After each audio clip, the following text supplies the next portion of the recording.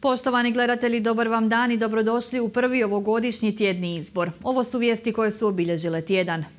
Omikron soj koronavirusa nova prijetnja u 2022. godini. U Brodskoj bolnici spremni za novi val. Zrak u Slavonskom brodu i dalje onečišćen, mjerne postaje ovoga tjedna u Ljubičastom. Pravoslavni vjernici proslavili Božić, u Slavonsko-brodskom naselju Josip Primac održano tradicionalno paljenje badnjaka. Održan novogodišnji susret predstavnika medija s gradonačelnikom Slavonskog broda.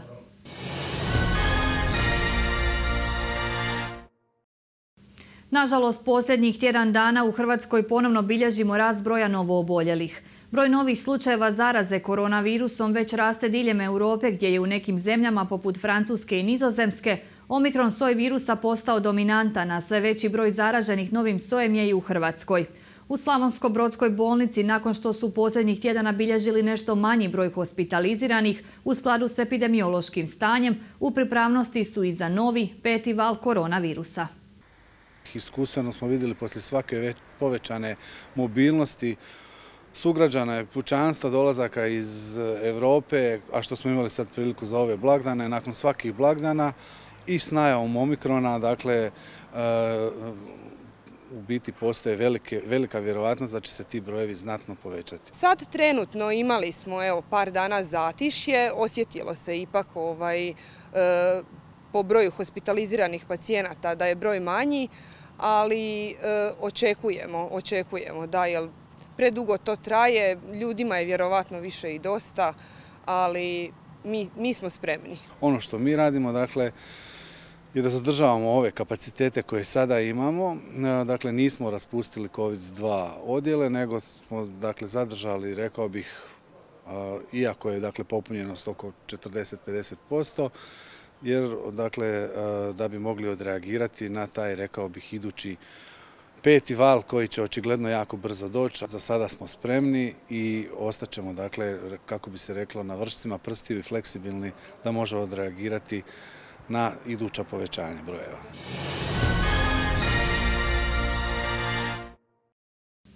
Peti val epidemije po svemu sudeći je pred vratima. Da broj novooboljelih raste vidljivo je već na početku ove godine. Samo u prva tri dana nove 2022. u Brodsko-Posavskoj županiji imali smo 199 novooboljelih. Oboreni su rekordi po broju oboljelih u jednom danu.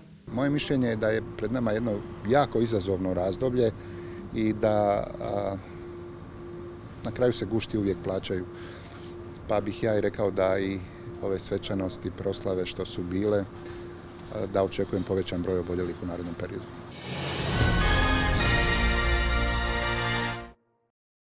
Epidemiološko stanje komentirao je i premijer Plenković na prvoj ovogodišnjoj sjednici vlade. Dotaknuo se i rasta BDP-a. Mi smo imali onu procjenu da će nam rast u 2021. biti minimalno oko 9%. Sada sa ovim brojevima koje smo vidjeli i u pogledu fiskalizacije tijekom prosinca i ostalim indikatorima možemo biti malo optimističniji i biti praktički u poziciji da će rast BDP-a u 2021. sigurno biti dvoznamenkast, dakle bit će veći od 10%, što god bude više od 10%, naravno da ćemo biti zadovoljni.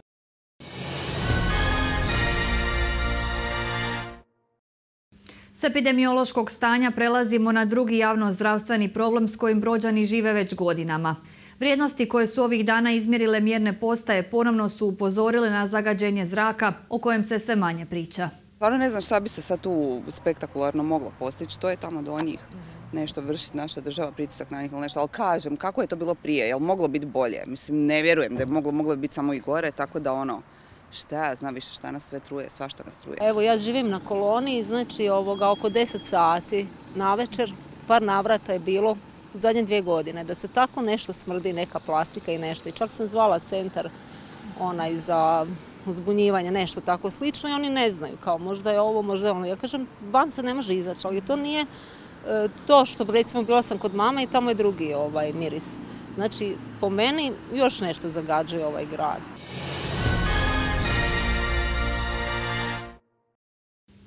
Katolički vjernici u četvrtak su proslavili svetkovinu bogojavljanja, odnosno blagdan Sveta Tri kralja. Slavlje ovog blagdana ima početka u istočnim kršćanskim crkvama i uključivalo je Isusovo rođenje, pohod trojice mudraca u Betlehem te sve događaje Isusova djetinstva do njegovog krštenja. Državni ovo blagdan i neradni dan u Hrvatskoj. Bogojavljanje je jedna potvrda onoga što su tri mudraca, tri stranca, tri rekli bi poganina e, došli i evo tražeći, oni su tragatelji za smislom, za istinom, e, tražeći e, po toj zvijezdi put do, do Betlehema, do štalice, do Isusa Krista, dakle prepoznali su smisao svoga traganja, smisao svoga postojenja i to se i zapravo i onda je pokazalo u njihovom poklonstvu novorođenom kralju, kako već znamo kroz E, predaju o, o tom događaju. Doista prepoznati da se Bog već objavi u našem životu. Gdje se on nalazi, sigurno ga nećemo nalaziti u nekakvim skupocjenim stvarima, u nekim možda ispraznim događanjima oko nas ovoga vremena, nego više ono što je uvijek vezano za e, istinski nekakav Boži dolazak među nas ljude, a to je ta jedna malenost, jedna blizina ljudi, osobito onima koji su evo u potrebi. Tu se Bog objavljuje i tu nam pokazuje su svoju veličinu. Slavili su ovoga tjedna i pravoslavni vjernici koji računaju vrijeme prema julijanskom kalendaru. I to Božić, blagdan Kristova rođenja. Božićno slavlje započelo je u četvrtak na Badnji dan. Tradicionalno paljenje badnjaka organizirano je i u Slavonsko-brodskom naselju Josip Primac. Prije mjesec dana imali smo sastanak gradskog vijeća gdje smo odlučili da bi ove godine probali održati tradicionalno badnje veče. Od nas 15, 15 ruku je bilo za gdje smo mi to obostrano prihvatili. Molitvu je predvodio paroh Slavonsko-Brodski Ratko Gatarević. Ovo okupljanje pokušaj je, kako kažu, da se ponovno započne jedna tradicija. U stvari deset godina već nismo ovdje Pale Badnjaka, od ove godine nadam se da ćemo nastaviti sljedeće godine i narednih godina da se e, družimo sa, sa malim Bogom. Rođenje Krista prema julijanskom kalendaru slavi se kao početak novoga vremena. Vjernici se na badnji dan već godinama okupljaju i u crkvi svetog velikomučenika Georgija u Slavonskom brodu, iako ih je ističe paroh sve manje. Nažalost više imamo umrlih nego, nego, nego rođeni, tako je, tako je svuda u stvari ne, ali kod nas pravoslavni je ovdje identično i očito da, se, da, da, da nas ima što manje, manje Ipak razloga za optimizam imaju jer crkva koja je u izgradnji godinama polako poprima završni izgled. Nešto i dobro u, u ovoj pandemiji Počeli smo raditi, prošle godine e, smo počeli, evo sad ove godine ako Bog da nastavljamo desetog, treba da nastavi da se radi, idemo da pokušamo da, da, da zatvorimo crkvu ako budemo imali sredstava dovoljno. Znači i dalje su isti problemi koje vučate već godinu? Nažalost, nažalost isti. Svim vjernicima pravoslavne vjerispovesti, evo i ovdje našoj braći Romima, pravoslavcima, da čestitam Božić, naj, najradosniji hrišćanski praznik sa velikim pozdravom Mir Boži Hristo se rodi. Gradonačelnik Mirko Duspara u sredu se sastao s predstavnicima medija na tradicionalnom novogodišnjem susretu.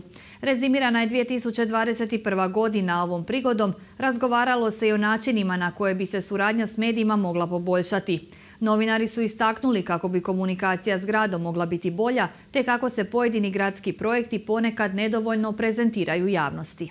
Želim se u svoje ime i u ime mojih suradnika i gradske uprave zahvaliti na dobre suradnji. Evo iza nas jedna, ja bih rekao, dosta teška i turbulentna godina. Ne samo što je bila izborna, nego i sve ovo što nas prati kroz ove dvije godine. Ali evo, mislim da smo, evo, i zahvaljujući vama, sve to uspjeli prevladati, da su građani ipak bili bili informirani i upoznati sa svim onim što se događalo u gradu. Ovi su izbori bili malo specifični jer puno teže je bilo doći do građana jer nije bilo velikih okupljanja i toga niste mogli u direktnom kontaktu sa građanima komunicirati što smo radili prethodnih izbora, ali evo, zahvaljujući medijima, zahvaljujući vama, znači uspjeli smo doći i do građana i pokušati im prezentirati svoje projekte i programe. Imamo najviše primjera iz Slavonskog broda Crna kronika što se nešto događa, tako da, međutim nemamo te agresivnosti gradske da nam se e, traži od nas, da nam se sugerira, da se nešto događa i tako dalje, jer ne možemo mi svi ovaj, sve znati.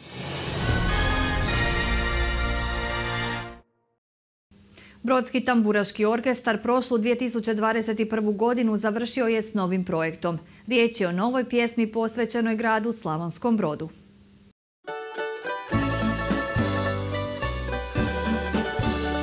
Želili smo napraviti nešto posvećeno našem gradu, konkretno u ovom slučaju jednu novu potpuno pjesmu, kao što ste i sami rekli, dugo nije bilo neke pjesme ovaj, o našem divnom gradu. Od kada pamtim najdraži grade, sjećanja svoja, ja s tobom dijelim. Pjesma se zove Zapjevaj sa mnom najljepši grade. Znate i sami čim se prošetate ovim gradom, što bi rekli, e, zatitra srce, tako da i nama, evo, drago da smo uspjeli napraviti jednu pjesmu koja će, nadam se, ostati evo, kao jedna trajna uspomena. Bitna je ljubav, emocija i moraš nešto voljeti da bi o tome mogao napisati pjesmu. Tako, evo i mi kao Brodski tamburaški orkestar, stvarno nam je drago što smo dio ovoga grada. Za kraj sport. Početak nove godine uvijek je prilika za rezime. Ove jeseni je natjecanje u istočnoj skupini prve županijske nogometne lige bilo kvalitetnije i neizvjesnije nego u prošloj sezoni. Do naslova prvaka jeseni došla je Posavina iz Velike Kopanice. Tu smo da odigrali od prve do zadnje minute. Pa i zato mislim da smo možda i zaslužili. Čak su mi i njihov predsjednik i isto trener koji je moj prijatelj Doka, jel, čestitao i rekao svaka čast ovo danas što ste pokazali i to mi je jedan veliki poticaj za dalje. I evo, kažem, svaka čast dečkima, imamo jedno 14 svojih e, momaka iz sela, što mislim da rijetko danas netko ima. Baš ovih šest gore što su se izdvojili su pokazali se za sad najbolje i kažem, evo, ovo nam je deseta pobjeda, znači ne može to baš slučajno da tu nije bilo rada i truda i ulaganja da se dođe do toga. Sad, ima još tu dosta utakmica, dosta puta smo se mi vraćali, ali definitivno to protiv Vrbe, sad trenutno drugog u ligi, a mi prvaci. Pa ja mislim da je ovo sad dosta jača liga, imamo i Šamac, Vrpolje dosta dobro, Topolje koji uvijek, što vi kažete, Vinogorac, mlada ekipa, puno trče, Vrba, mi, evo vidite, ni jedna ekipa nije vam lagana, vidite nas protiv Pocrkavlja, patili smo se u Perkovcima, isto nekakva ekipa, završili smo 2-2, niko vamo nije lagana ekipa, niko.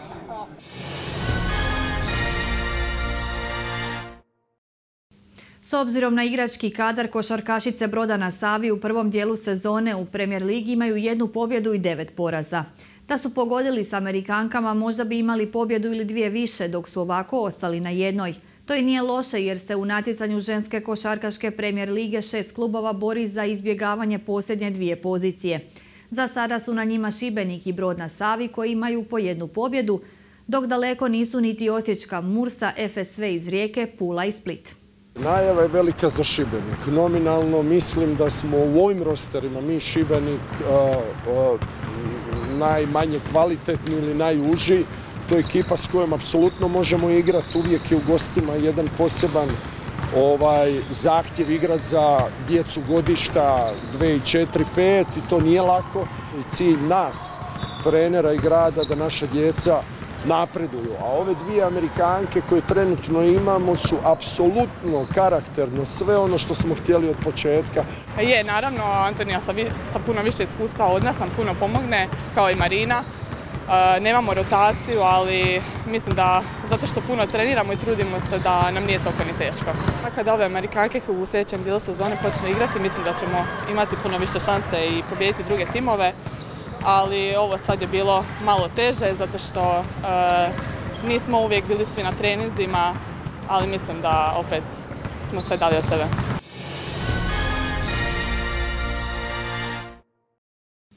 Toliko od nas na početku nove godine. Ostanite uz program Slavonsko-Brodske televizije. Ugodan ostatak dana. Doviđenja.